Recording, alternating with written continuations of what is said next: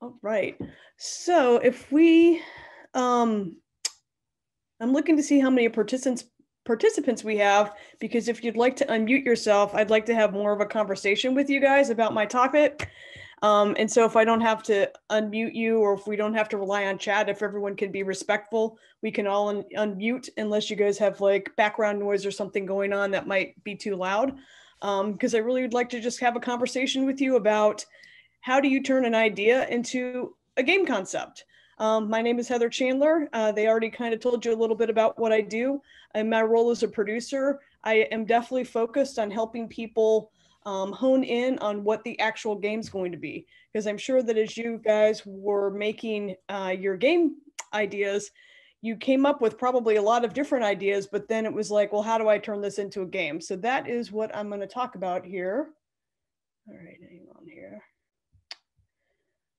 I practiced this beforehand, but now it's now that it's live, it's more daunting. All right, let me share my screen real quick.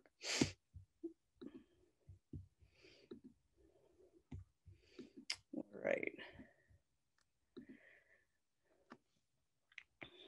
Awesome. All right, an idea is just the beginning. How to go from an idea to a game concept. First of all, um, I'd like to hear how did some of you guys think of the ideas that you had for the games that you made? May I answer? Absolutely. Thanks. Um, for me, I just took a few days to kind of just have a brainstorming session with myself. I didn't really, to be honest, I didn't really set anything in place. I just kind of thought I came up with a bunch of ideas and just wrote them down, started experimenting, and then I came up with the idea of having a character who'd throw seeds where that can plant trees. And that's the one i just kind of took and ran with. Yeah that's wonderful. So you use the good old brainstorm session. Um, when you do a brainstorming session a lot of times on game development teams we do this with large groups so we have a lot of folks in the room. One of the cardinal rules of the brainstorm session and perhaps you could talk a little bit about the good ideas and the bad ideas is that you gosh you don't um, everybody's idea is good. And when you're brainstorming, you write everything up on the board. I'm used to doing this in front of a whiteboard. You don't criticize the idea, you just let everything flow. I've been in sessions sometimes where people start immediately critiquing the idea, like, oh, this would work or this won't work. Um, but that really kind of, you know, messes up the energy and flow of a brainstorm session. So a brainstorm is really just that. You just let everything come out and you record it then after the fact, you can go and start kind of honing in and, and um, narrow down some of the ideas that you got. Um, how many folks relied on research to, I know that you guys had some themes that you were doing. Did anybody research their theme to get inspired for an idea? Um, I did because I had the environment category and I, in my video, I said, because I did a science project about climate change. I had done it right that spring. So I used some of the research from that for my game. That's wonderful. So, yeah, research is a good idea. Um, you can do research on a theme. Um, so, that kind of goes with pick a theme to explore. You can also research what people like to play. So, you could look at what games are popular and say, hmm, uh, is this game going to, eh, can I make a version of this game that would be popular or is this game very popular and it's now time for something new? Um, another thing to do is you can improve an existing game. So did any of you have um, a game mechanic in mind from a, a, game that you already enjoyed playing? Tetris did come up a lot um, in the interviews. So you would think, hmm, how can I make Tetris better or more interesting? Did anybody start with kind of an idea from an existing game? When I was doing mine, not sure if you can hear this or not. Yeah, we can. But I was going through like Rayman Legends, and the background it was really involved in the entire game, and I decided to like bring that into my game, improve like some of the more technical features of several different games, and Wonderful. took like the best elements. That's great. Um, we talked a little bit about themes, so you guys were presented with themes, so that's always good to kind of figure out, especially if it, the theme is something where you want to create a game where not only are you making something fun, but you want somebody to come away with a bit more information about that topic. I'm not going to say educational game, but certainly there are ways to make very fun games that also, you know, present a point of view or give the player something to think about after the fact. Um, other things, you can start by asking a question. So you think of a question to answer. What if, you know, supervillains took over New York City? You know, that's a very silly one, but then you start thinking, okay, well, what would that look like? And you answer that question. Did anybody start with a question that they wanted to answer? All right. But, um, and so you can do that. You can combine things. Um, that's where you take kind of two different genres and you figure out a fun way to combine them. A long, long time ago, there used to be point and click adventure games where you would go through a world and you would point and click and it was very slow paced then they decided to combine it with the action genre, which was at that time was you had a third person character that you would control in an environment and you would engage like a Zelda game. So then when you combined the true adventure point and click with the a- action piece, you got the action adventure, which is what a lot of games are now today. You go exploring, then you have a little bit of action. So there's things like that to combine things. Or there's a game called Puzzle Quest where it's a puzzle game. This came out a long time ago, and you level up like a role playing game. Um, did anybody, any of y'all combine genres? Yeah. Um, for my game, the genres that I kind of combined were like a stealth aspect in stealth games because you had to hide from enemy robots, but also kind of like an action and like um, open space games where you can roam around and explore. Yeah, absolutely. And then another way is you, you think of something to restrict. So whenever you have an idea, if you get stumped and you're trying to have a brainstorming session, then you think about, well, what if I removed this element? What does that turn it into? What ideas can spark me? What if I added this? So there's lots of different ways to kind of spark that uh, idea and curiosity. Um, I wanted to talk a little bit about creating, collaborating, and sharing. I talk a lot to, to folks who want to make games, and they're like, I really have this amazing game idea, but I don't want to tell you what it is because then I'm afraid someone's going to steal it and make this game. And I appreciate that, you know, and I understand the thinking behind that. But what do you think happens if you don't share your idea? It doesn't come to fruition it won't probably won't come to fruition. The idea is just the beginning. How many of you started out with your idea for the game and then as you started making your game you found out that the game you made is a little bit different than maybe what you had in your head to begin with because you ran into different problems along the way or you thought you were going to go in this one direction but you got inspired by something else so you went in this different direction. I would say, you know, look at how many match 3 puzzle games there are out there it's a very simple idea. Oh, match three things and then something happens. But look at all the different ways that it has been executed on. So I like to say an idea is just an idea until you make something with it. And people can come up with ideas all day long, but it's until somebody actually does something with that idea and builds some meat around it does it turn into an actual game. You can start with the same idea and get very different uh, con- uh, concepts. And if you're collaborating with people, then you get inspiration from other people and you could make your game better because you might talk to somebody and be like, wow, I never thought of it like that. I'm inspired now to kind of change something in my game or improve it. So, you know, when you collaborate and share these ideas, you're going to be able to come up with stronger concepts that you can then execute on. And I wanted to talk a little bit about the difference between what an idea is versus a concept. Um, you know, uh, the concept happens at the beginning. You know, you can either do it as a design document where you flesh out that concept, or you can do it as a prototype where you prototype this concept and kind of see what people think. But, you know, idea is the spark, but a concept goes into the genre.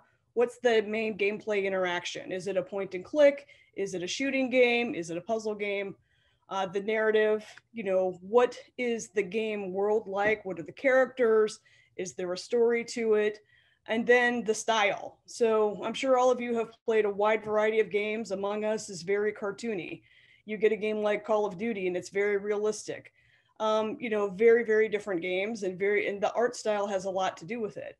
And then you also want to think about who are you making this game for? Now, with this competition, were you thinking about, okay, I'm making this game for kids, you know, eight to 14 years old, or I'm making this game for people who enjoy playing, you know, historical board games. So when you think about who the game is for, that will also kind of feed into your concept and help um, elevate the idea. Okay, so I thought for the interactive section, I, oh, hang on, now I've got to switch to this other thing here.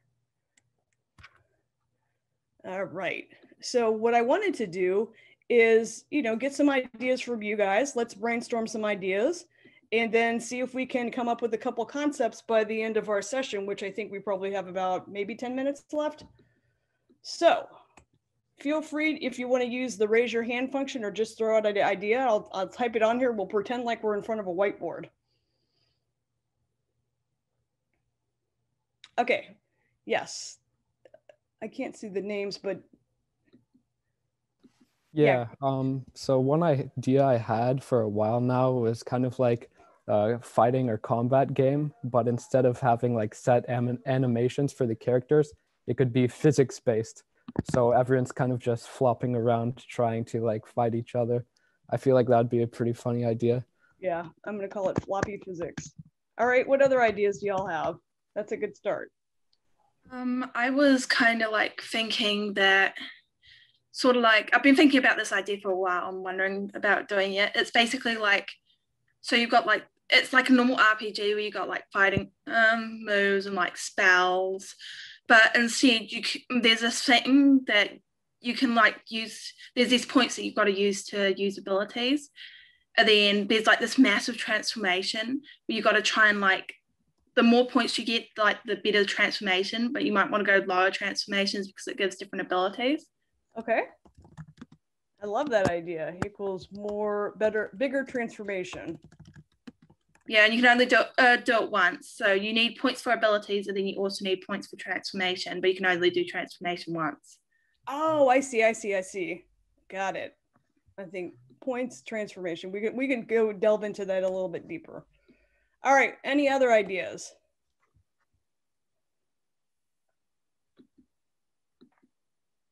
All right. I'll give you five five more seconds to shout out some ideas here an RPG where you have to like um or an RPG where you have to like uh do some uh, perform some mini game like beat the mini game in order to attack. Okay. Great. Cool. Now, um, this, these are great ideas. So, what did you, what do you notice about the ideas that this group came up with? What's the one common thing they had as when they were explaining what the idea was? Fighting. Fighting but also they were talked about in game terms. So you guys are already thinking about um, the genre, which was the first thing we're going to be talking about. So does everybody understand what it means when I say a game genre? A game genre just defines sort of what the key player interaction is. So a fighting game, something like Mortal Kombat is traditionally thought of as player versus player in some type of arena where you have special moves that you do things. You know a first person shooter like call of duty involves the first person view and you go around and you you shoot things. Um, fortnite is you know that genre is a battle royale but it's kind of a hybrid genre of a shooting game and a building game. So they combine basically building from minecraft and then third person shooting in a last man standing sort of 100 person thing. So a battle royale is a genre but it is a hybrid of different genres. Um, for the genres that we talked about above, we had a fighting combat game. Now, were you thinking um, that that was a uh, battle royale type fighting combat game? Was it a one to one like a Mortal Kombat? What are some examples of genres that we could look at now to apply to either the fighting game or the RPG game? I was thinking uh, for the fighting game, it'd be more of like a 1v1 situation, but I guess it could work also as a battle royale. It kind of just depends how you want the game to feel. 1v1 would be like more competitive, whereas a battle royale would kind of be like chaos because everyone's kind of would just be flopping around. Yep. But yeah. And we talked about RPGs. Do you guys, can you think of different ways people use RPG role playing games where you're developing a character? What are some of the common earmarks with RPG games that people enjoy? For me, um, in an RPG game, one part of that game that I really enjoy are the bas- boss battles, where you just are fighting one big enemy and you've got to use like specific items or specific strategies. Those have always always been fun for me. Yeah, that's a great idea. Um, that made me think of strategy games. So, do any of y'all play either turn-based strategy games? Um, I'm not sure if there's any super popular turn-based strategy games now, but when I started making games a long time ago, there was Command and Conquer, um, or was that a real time? Anyway, there's turn-based and real-time strategy games where you're setting units up basically on a board and trying to strategically, you know, complete your objectives and, and get to victory. Right. So what if we were to take, how does this change any of the ideas that we talked about? So the floppy physics one, we said, yeah, it could either be a battle royale game or it could be a fighting game. So do you think that that's going to change how you would execute on that idea? Yeah, probably a little bit. Probably by quite a bit. If you're going to do a battle royale game, you've got to start thinking, how am I going to get 100 players on the screen? It there's a lot of technical issues to solve. A fighting one versus one game from a technical standpoint probably would be a little bit easier. So this is where you start kind of thinking about the scope of what you can do. Are you a one person development team? If so, then you probably want to stick with an idea that is going to be um, within your means to do. So, h- how many of you guys were one person development teams? Probably most of you. And did that impact the types of things that you were able to do or wanted to do on your game? Nope. It didn't. That's great. And how were you able to to overcome that because you did everything on the game?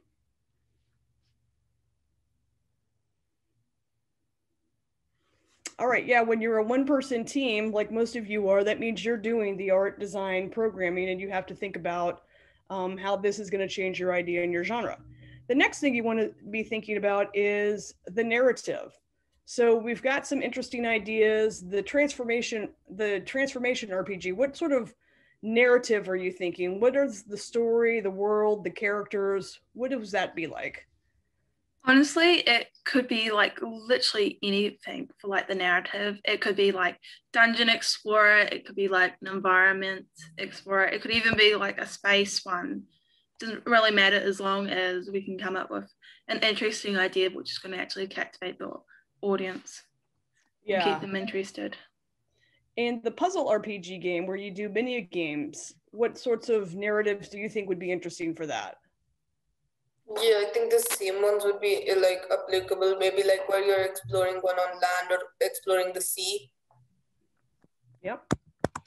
And so when you think about that, and then what types of characters would these things have?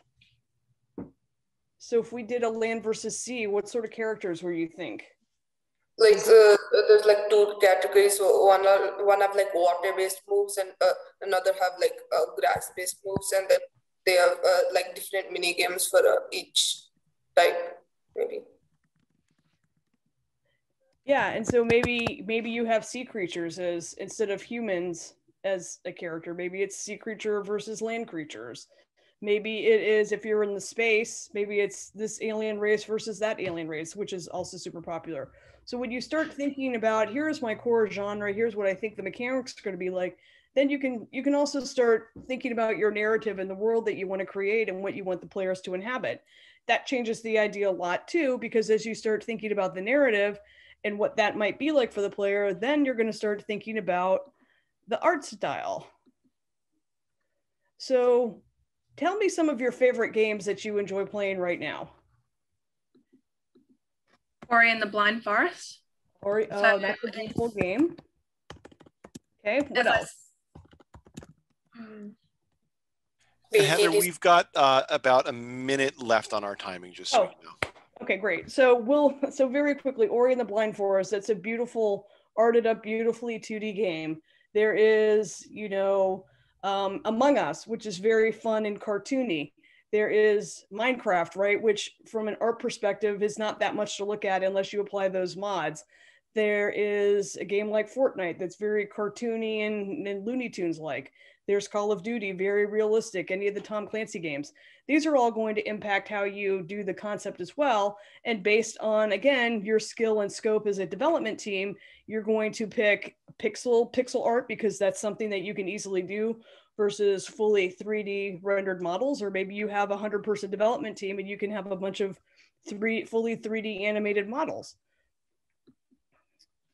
Um, target audience, again, you're thinking about who are you making this game for? That's going to change it. If you make it for kids, it's going to have a different vibe to it than if you make it for adults. Adults are interested in different content. So when you thought about the ideas you were making for this challenge, um, if you thought, hey, I'm going to gear it towards kids my age, is that different than what you would have done if you had geared it towards an adult player? All right. And so at the end, we started with a couple original ideas. Now that we have what probably 30 seconds, does anybody want to combine all the stuff we talked about and maybe say, hey, we started with a floppy physics idea, or we started with a mini game RPG or a transformation RPG. Does anybody uh, want to share how they might combine different things to turn it out and turn it into a little bit more of a concept? Yeah. So for the floppy physics one, you could combine all the things you talked about. You could do different narratives. So, like, you could change your map from like land to space. You could also make it geared towards just younger kids, but still have it like general enough so that anyone can play it. And maybe you could expand from there, add power ups and different things. Yep. And then the when you'll go to a presentation that Virginia is giving about finding the fun. So her thing is all about once you have this concept, um, so think about this, like what you do to get the concept, and then think about how she talks about how you figure out if the game is fun or not. Because there's so many different things that go into making these games. Um, some are just your heart and your feeling, like what you're passionate about making. And then once you've made it, you need to figure out do other people feel the same way about it? And if they do, great. And if they don't, what are some ways that I can tweak the concept to make it more appealing to people. All right, do y'all have any questions? All right. Well, it was very wonderful chatting with you guys today. And of course, I really loved seeing all of you talk about the games that you made and congratulations to winners. And, um, you know, feel free to reach out to me. I have a website called heathermakesgames.com and it's got my contact information on there. So if you have questions or just want to get in touch later, feel free to do so. Cool. Thank you, Heather. You're welcome.